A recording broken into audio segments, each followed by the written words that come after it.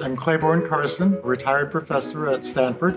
I now direct the World House Project at Stanford. I became interested in Dr. King when I went to the March on Washington when I was 19 years old. Kind of accidental. I was at a student conference and I thought I'll never get closer to Washington than this. I might as well see if I can get a ride over there. Ended up on August 28th, 1963, in a place I'd never been before.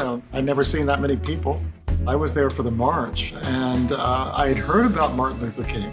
If you're there, he's simply the last speaker in a long day of speeches and his speech was relatively short.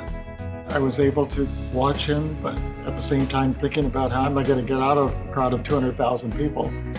And uh, I never did find the bus that I came on. Martin's dream became my dream. I wish that people today could have that, that sense of uh, new society, a new world, and that vision of a better future. I didn't know anything about Westmont. And I heard that there was a this Christian school, and I said, well, you know, like, would I be welcome there? I'm not, I'm not a born again Christian. I'm not uh, deeply religious. I'm still figuring that out.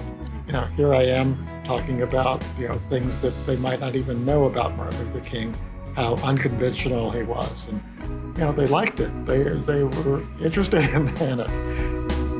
When I think of the World House idea, in the World House, we have to live with people who have different perspectives and somehow build a community.